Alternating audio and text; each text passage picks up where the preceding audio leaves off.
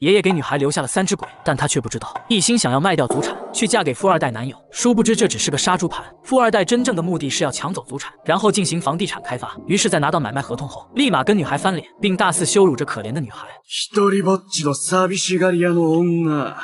一人ぼっちの寂しがり屋の女。一番騙しやすいタイプですわ。这可气坏了三只鬼，他们立马施展了异能，瞬间便吓跑了富二代。而三只鬼之所以愿意帮忙，全靠爷爷当初的以德报怨。那时候祖产还是一家客栈，但因为阴气较重，特别适合鬼怪居住，所以三只鬼便不请自来。而且由于不知收敛，总是吓跑爷爷的客户，导致客栈长期入不敷出。无奈之间，爷爷只好请来了捉妖人。可三只鬼并不知错，还想对捉妖人动手。不料仅是一个回合过去，三只鬼便全被打服。爷爷当即喜出望外，对着捉妖人连连感谢。而三只鬼也说出了心 他们并不害人，只是这个地方住着舒适，所以想求爷爷留下他们。可爷爷还没回话，捉妖人便选择了拒绝。毕竟鬼怪会极大的影响社会稳定，当即就要带走他们。不料爷爷见其可怜，一咬牙便答应了下来，同意三只鬼继续住在客栈，但不能让任何人看见，以此维持客栈经营。就这样，生活回归了平静。可一年之后，却有个大老板看上了客栈的地皮，直接开了个挖掘机，就要强行征地。爷爷当然不同意，但大老板却直接威胁爷爷要绑架他的女儿。这下没办法了，爷爷只好准备搬家。不想三只鬼却站了出来，帮助爷爷吓跑了大老板，就此与其结下了深厚的情谊。而此刻抢走了房契的富二代，也是当初大老板的后代。